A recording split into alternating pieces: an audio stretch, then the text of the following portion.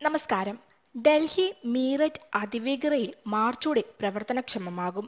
R R R T S train ഇടനാഴിയുടെ പതിനേഴ് kilometre ദുഹായ് സാഹിബാബാദ് പാത അടുത്ത മാസം പ്രവർത്തനം ആരംഭിക്കുമെന്നാണ് അധികൃതർ അറിയിച്ചിരിക്കുന്നത്. National capital regional transport corporation നിയന്ത്രിക്കുന്ന R R R T S പദ്ധതിയുടെ കീഴിൽ നടപ്പിലാക്കിയ മൂന്ന് അതിവേഗ റെയിൽ ഇടനാഴികളിൽ ഒന്നാണിത്.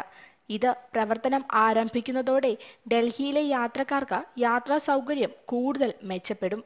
എൺപത്തിരണ്ട് കിലോമീറ്റർ നീളത്തിലുള്ള Delhi Ghaziabad Meerut regional rapid transit സിസ്റ്റത്തിന് ഏകദേശം മുപ്പത്തിരണ്ടായിരത്തി ഇരുന്നൂറ്റി എഴുപത്തിനാല് കോടി രൂപയാണ് പദ്ധതി ചിലവ്. രണ്ടായിരത്തി ഇരുപത്തിയഞ്ചോടെ ഇത് പൂർണമായും പ്രവർത്തനക്ഷമമാകുമെന്നും അധികൃതർ അറിയിച്ചു. Delhi Meerut R R T S ഇടനാഴി പദ്ധതി നടപ്പിലാക്കുന്നതിനായി പതിനൊന്നായിരത്തി നാനൂറ്റി നാൽപ്പത് കോടി രൂപ ചിലവായതായി കഴിഞ്ഞ വർഷം ഡിസംബറിൽ സർക്കാർ അറിയിച്ചിരുന്നു.